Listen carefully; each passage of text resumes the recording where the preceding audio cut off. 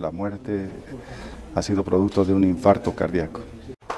El Ministerio Público ha llevado adelante a requerimiento fiscal la autopsia legal del cuerpo del señor Montenegro.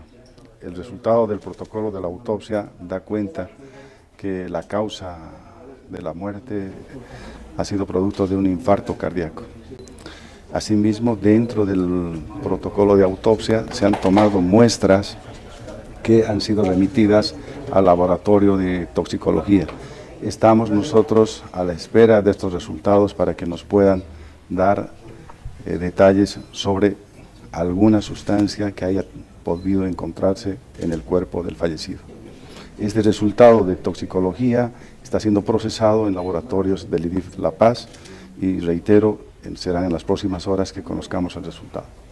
Eh, se ha aperturado un caso por el fallecimiento del señor Montenegro y dentro de este caso, que es totalmente ajeno a la investigación por el caso de yacimientos de, litio, se, está llevando adelante un trabajo técnico a cargo del de, eh, laboratorio de, del para establecer el tema de, estas, de estas cartas que, que se mencionan.